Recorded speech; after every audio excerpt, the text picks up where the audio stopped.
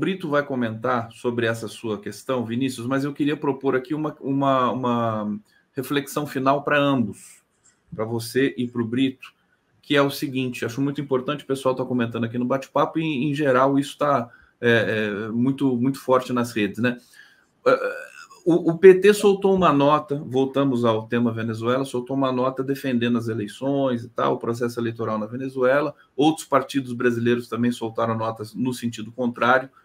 Muitos deles fazem parte da base do governo. E Brito, começando com você, sem esquecer a questão do Casalino, hein? Com questão do com questão Israel e tudo mais lá e, e o Irã. É, mas eu queria que vocês falassem disso rapidamente, porque o tempo é exíguo aqui. É, você acha que é possível que o episódio Venezuela rache a esquerda, assim, estruturalmente, no sentido de você ter uma espécie de cisma, né? Aqueles que vão né, contestar o regime autoritário, etc., na visão, na visão das suas respectivas escolas e tendências, e daqueles que vão continuar apoiando esse tipo de procedimento no âmbito mais geral, com tudo que o Boaventura disse para a gente. Resumindo, assim, é, a esquerda pode rachar no Brasil com relação ao Maduro, começando com Brito, depois Casalino e a gente encerra. So, sobre Israel, eu, é, só para não deixar o Casalino sem resposta, eu, eu, tenho também essa visão, Casalino. Eu acho que foi uma espécie é, de macabro o canto, o último canto do cisne, sabe? Esse, esse ataque, né? para demonstrar que o Netanyahu não, não se sente enfraquecido, não se sente isolado, mas a verdade é que ele está. Ele está e, infelizmente, para ele, né, essa reviravolta na situação eleitoral norte-americana, que deixou de ter a eleição do Trump como favas contadas, né, é mais um sinal de que o relógio da morte política toca as horas para ele. Sobre a questão da Venezuela, Conde, o PT, mais uma vez, faz a proeza né, de dizer o que não precisava dizer no momento em que não deveria dizer. Tá? A liderança desse processo, o desgaste desse processo, o eventual ônus desse processo é do governo Lula, é do presidente Lula, é da liderança Lula. Tá? É ele que precisa estudar como, quando, de que forma, com que passos ele vai se defrontar com essa questão.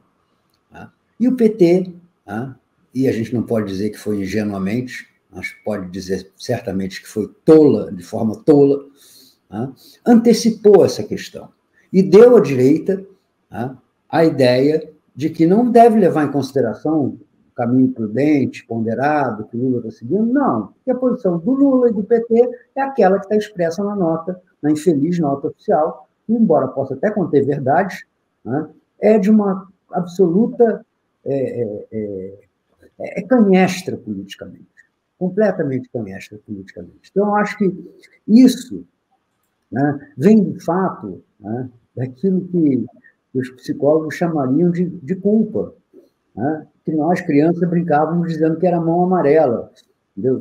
Né, que era o cara que ficava rapidamente se desculpando do que não fez. Né. PT não tem, não, não tem essa obrigação.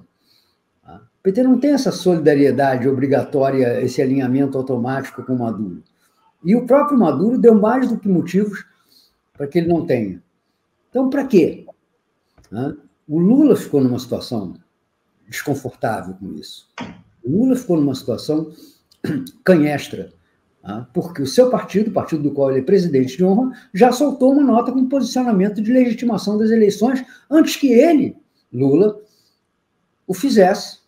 De tal maneira que, se o Lula colocar agora qualquer embargo a esse reconhecimento, ele está em desalinho com a posição do PT.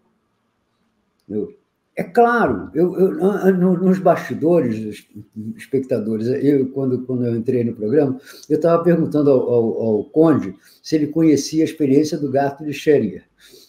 É, é, uma, é um paradoxo proposto por um, por um físico, né, em que ele diz que você pega um gato que está vivo e são, coloca esse gato dentro de uma caixa e liga, fecha essa caixa com um gatilho que, se rompido para abrir a caixa, emite uma dose de radiação fatal para um gato.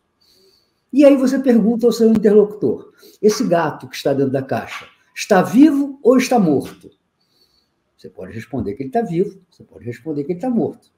Mas se você abrir a caixa para provar que o gato está vivo, o gato vai estar morto. A eleição. Eu, não, eu nunca escutei uma explicação tão, tão singela sobre o gato de Schrödinger, o nosso glorioso Brito. Fecha, Brito, para gente. É essa a situação, entendeu? Se não faz a eleição na Venezuela, o Maduro é um ditador porque não faz eleição. Se, se faz, faz eleição, ele perde de qualquer maneira. Tenha ganho ou perdido as eleições, ele perdeu porque se ganhou, ganhou com fraude.